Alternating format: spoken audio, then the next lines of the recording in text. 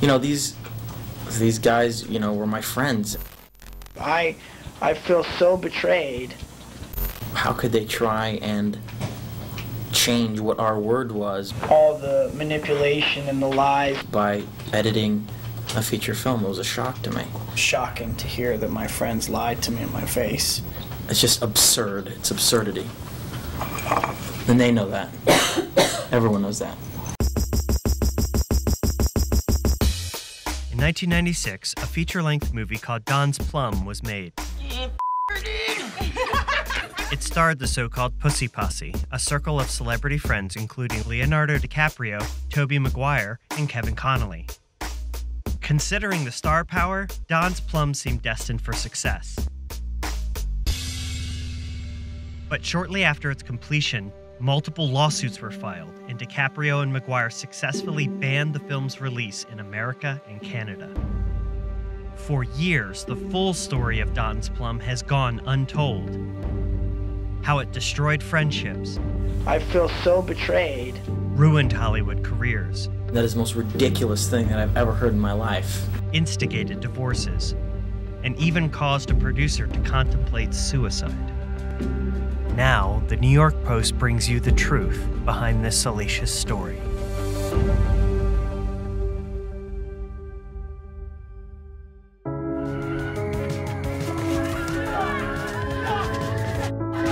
So the fight happens right there. That's that's a, an iconic moment for me.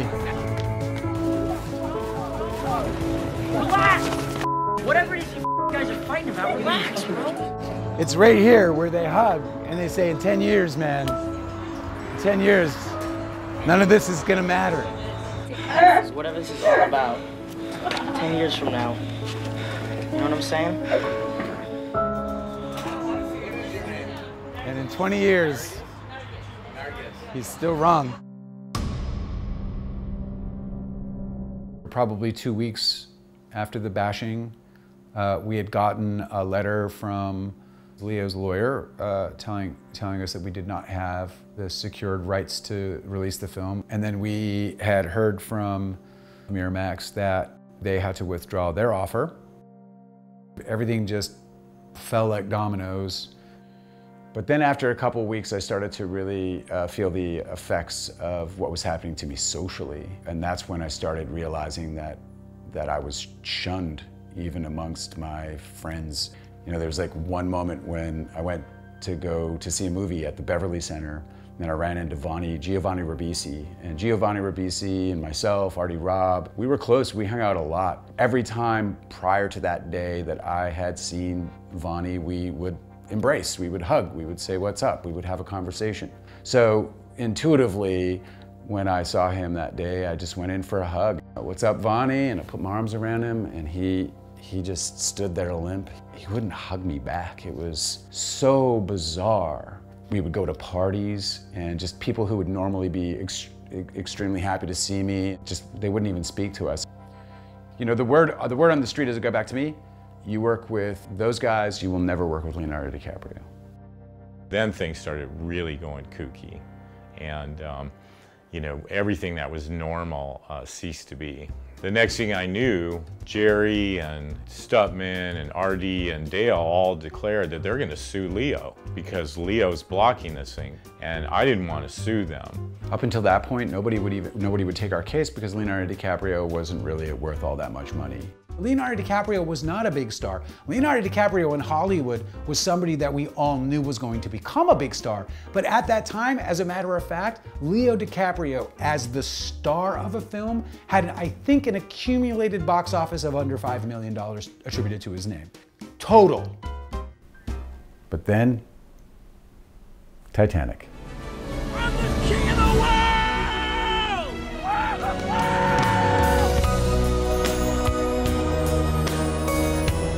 And then it becomes the biggest film of all time. It was like torture for me. I mean, it was everywhere. It was everything. There was nowhere I could turn, look, or be where I wasn't being showered in Leonardo DiCaprio. Now, Leo is worth a ton of cash, All of a sudden, Bert Fields, one of the biggest litigators in entertainment history, agrees to take the case. The lawsuit hit on April 1st. It was Stutman versus DiCaprio and Maguire. Jerry and RD and myself were listed as additional plaintiffs in the original lawsuit. We have worked continuously since 1996 to try and find an amicable solution to this dispute.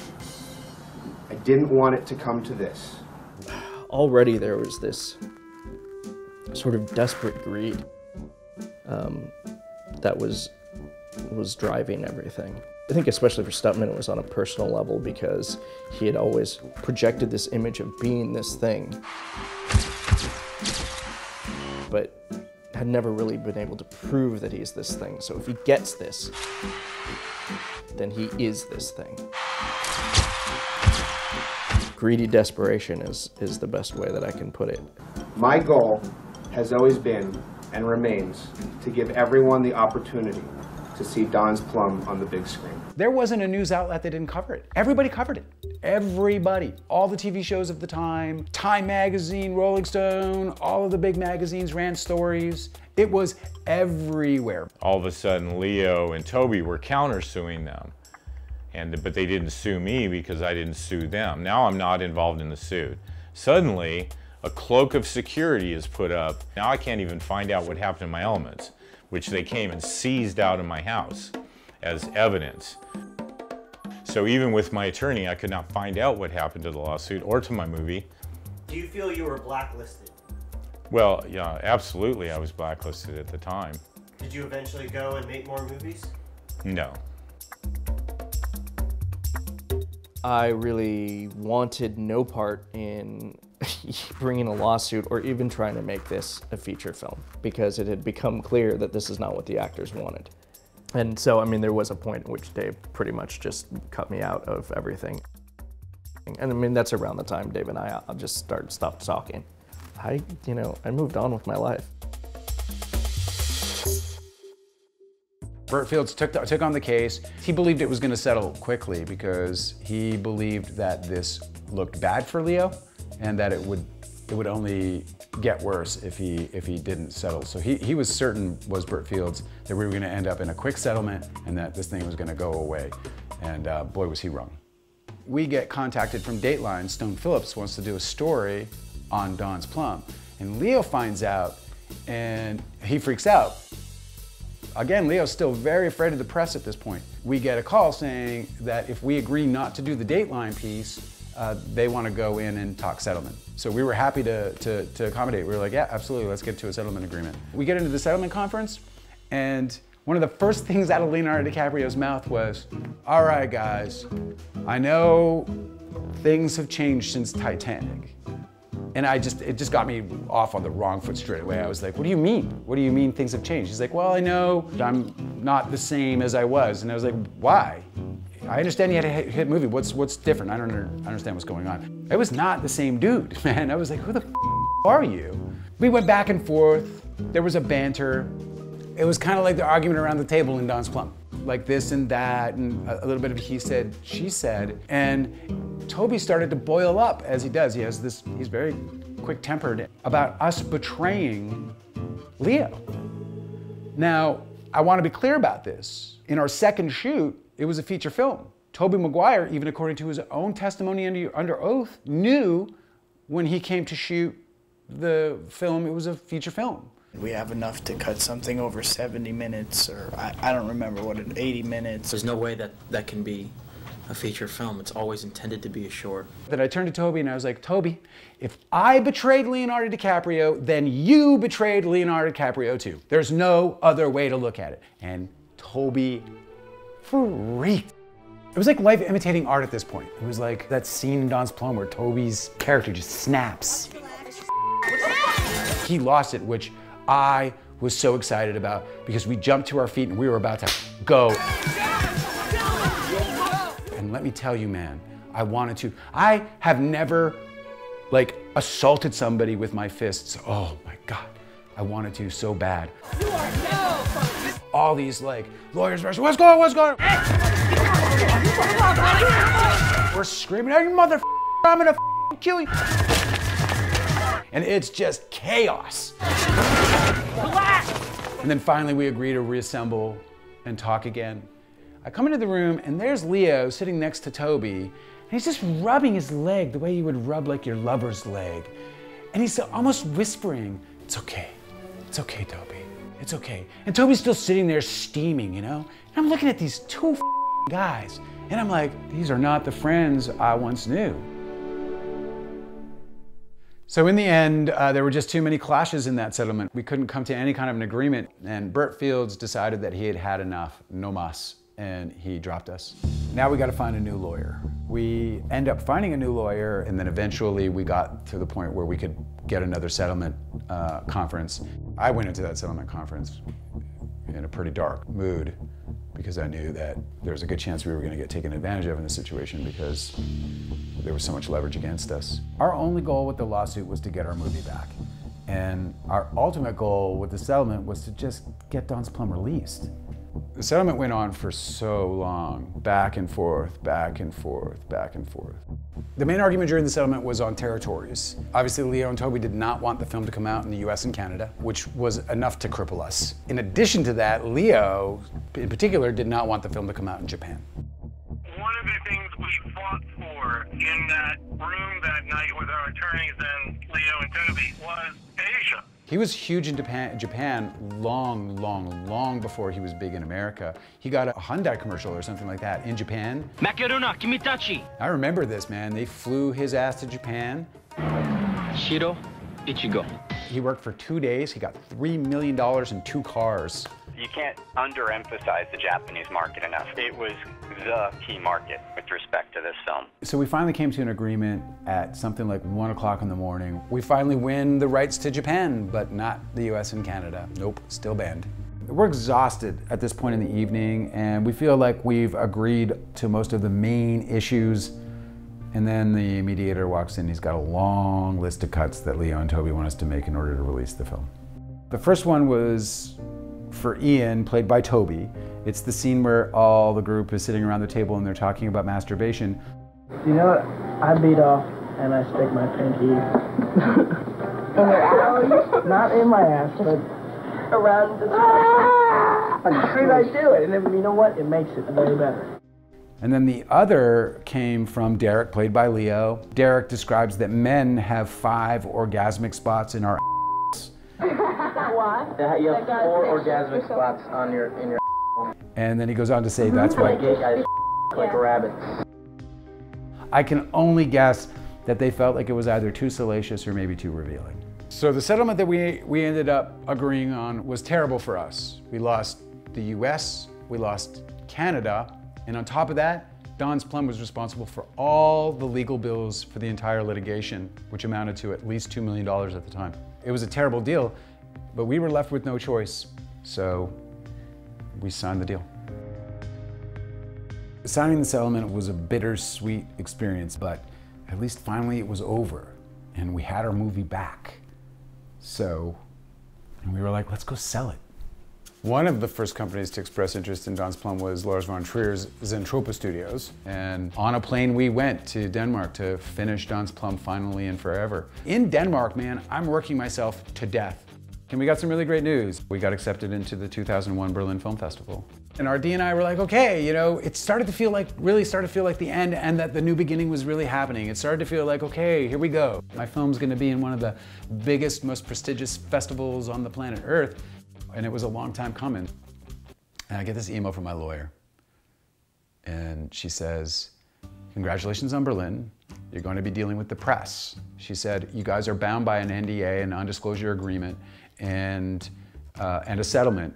And so you should only say the following and you should not deviate from this whatsoever. We are so glad that we are able to put the Don's Plum dispute behind us amicably, and we look forward to releasing the film to the rest of the world. And that was the only two things we could say. At a press conference in Berlin, Robb and his producer David Stutman would only say the dispute was settled amicably. David and I have, have both been through so much of this, and really, I mean, we're here to celebrate the film itself, and I'd really like to talk about the film. We've uh amicably agreed on a settlement, and all parties are happy to put this misunderstanding behind them. When I got the email, about Berlin. And in the email, it says, man, don't say anything else because if you say anything else, you know what's going to happen. I knew at that moment I was doomed. And like, this breaks my heart to this day, man. I was afraid to go to my own premiere because I was afraid I was going to say something that was going to get me sued. And we had the anticipation of maybe making some money finally and digging myself out of the incredible financial hole that I had been dug into through this whole litigation. And I was like, man, I'm to finally make some money. And then I go there and I say one stupid thing and it's just to all go away. So instead of going to the premiere of my movie, I just took my wife, we got on a plane, and at the very time, at the very moment that Don's Plum was premiering for the first time at the Berlin Film Festival, I was on a carriage with my wife. So sad. I was so sad. But I was on this little carriage and we were just getting pulled through the cobble streets of Rome and, and it was soothing. But man, I was sad. And then something awful happened. Surprising, I know. So this big Japanese distributor is offering us $1.2 million, and Jerry's like, well, I'm gonna take a stab and see if I can get a little more. I'm gonna call Gaga, the other big distributor, the other giant distributor in Japan, Gaga International. Jerry calls up Gaga, and Gaga says, oh no, we already have the rights to this movie. What? What? And then we learned that way back in 1996, David Stutman sent a memo to Gaga International, and it was confirming an offer they had made for $175,000 for the territory of Japan. And here's the thing, right? It wasn't a contract at all. It was literally a memo, one-sided memo written from David Stutman to Gaga Entertainment. Not even signed by Gaga, nobody countersigned anything. It's just saying he wants to do a deal with them. After all the legal happened, Stutman told me that he called up uh, Gaga and said, hey, listen, just so you know, hit the fan, there's no deal. And then years later, Gaga comes out of the goddamn woodwork with this stupid memo that David Stutman sent. And through some miracle arbitration, Gaga wins the Japanese rights for $175,000. The prize we thought we had was gone. That there, there was no distribution for us that we had anticipated. The deal I'd worked so hard to make in Asia, the relationships I'd cultivated for the entire time we were making Don's Plum had now gone up in smoke, and we would have had $3 million from Asia. And that wasn't where it ended. It set off a huge domino effect, and every distributor just started dropping their rates once they learned that Japan was going for $175,000. Utterly devastating. The money just started to disappear, man.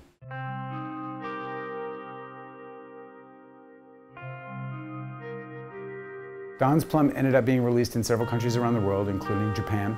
Uh, it was released in all over Europe, Germany, Sweden, Denmark, Spain. It was also released in Russia.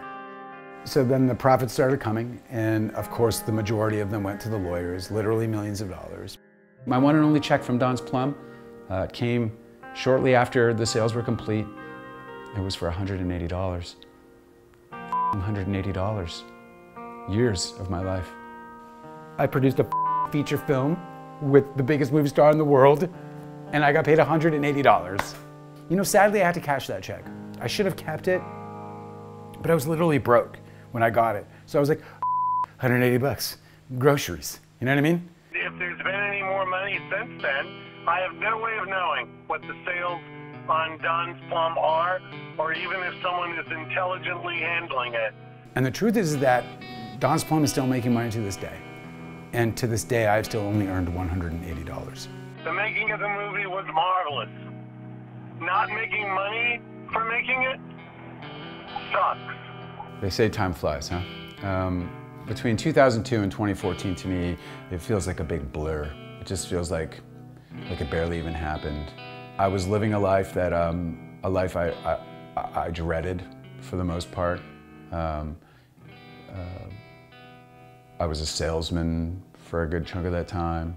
I lived in a sentence uh, handed down by these two kids who had way too much power.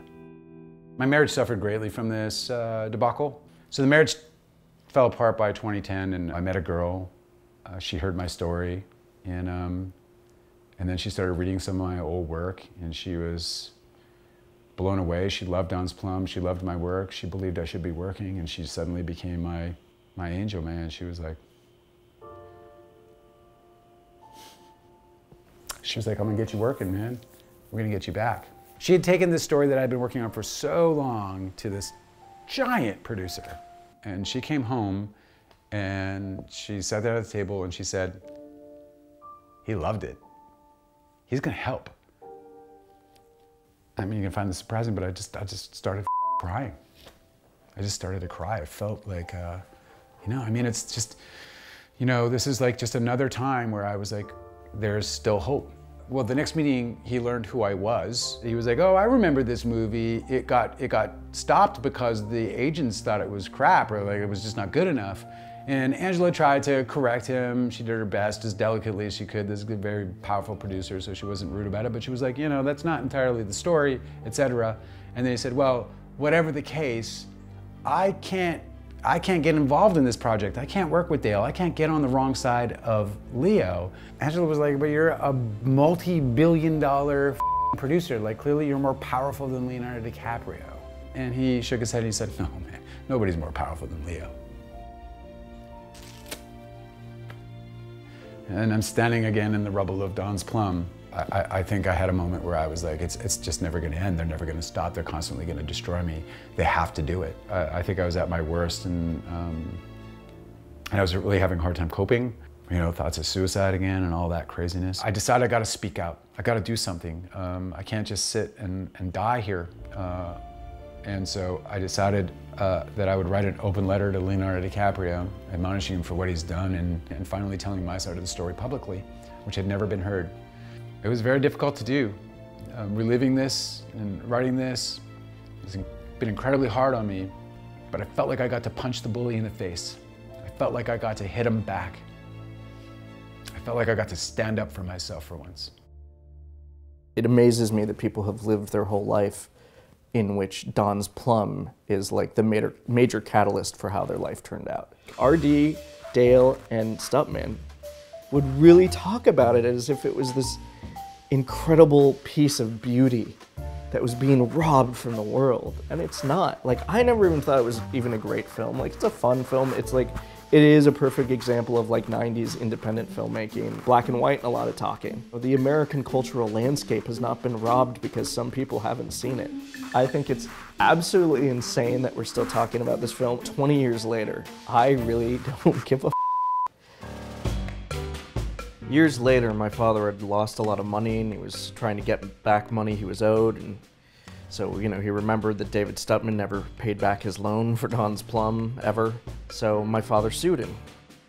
Stutman didn't show up for court, not once.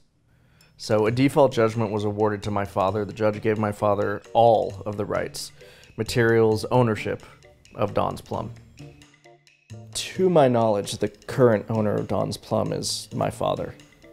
The inventor of the Happy Meal. The inventor of the Happy Meal, yeah. What's the future of Don's Plum? Do you have any plans? What What are you going to do with it now? What I wanted to do was, uh, you know, try and have a get a meeting with Leo and Tobey, and take the actual canisters there, and like in a trash can, light them on fire, and just burn those reels to the ground.